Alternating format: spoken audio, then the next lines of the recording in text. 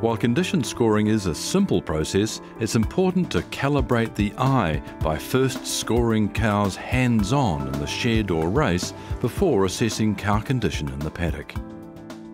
New Zealand cows are unique in terms that we have a mixture of breeds and cow sizes, um, but the 10-point scoring system takes that into account.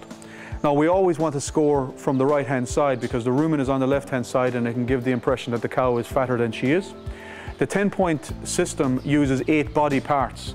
So we look at the backbone, the long ribs, the short ribs, the hip bone, the rump, the pin bones, the tail head and the thigh.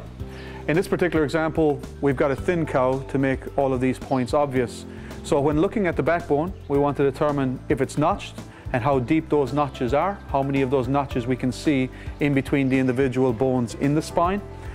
We want to look at the ribs to see how well covered they're with fat or how sharp they may be. We look at the short ribs to see how, how well covered they are or how sharp they may be on the ends. Again, the hip bone, how well covered it is in fat in, in, around in all directions, or how pointed it is and whether we can see the points of the bone. The rump, as to whether it's deep, a deep dish, flattening, or we're starting to see fat appear on top of the rump. The pin bone is this bone at the back of the cow. It's in the shape of a, of a three-pin tap if you were to strip all the fat away from it.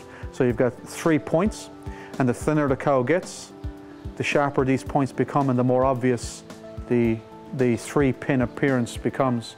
The fatter she becomes, the more rounded it becomes. So the tail head can either be full of fat or when the cow is thin, there's a deep uh, depression in between the pin bone and the actual tail itself, or the thigh.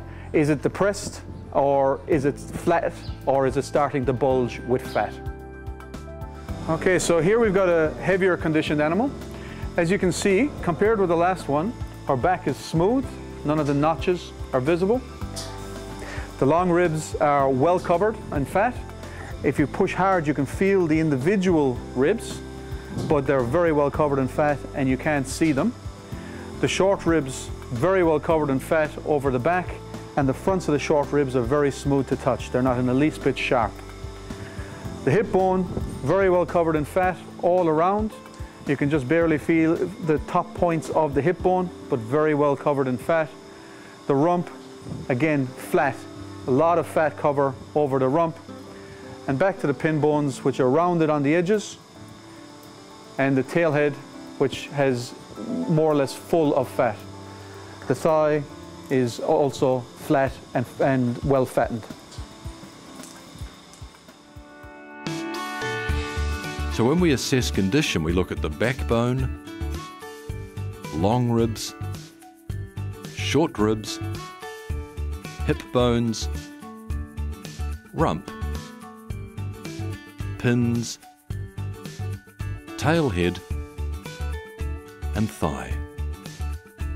So now we're going to score the eight body parts, give a score to each individual body part, and average them to get an overall score for the cow.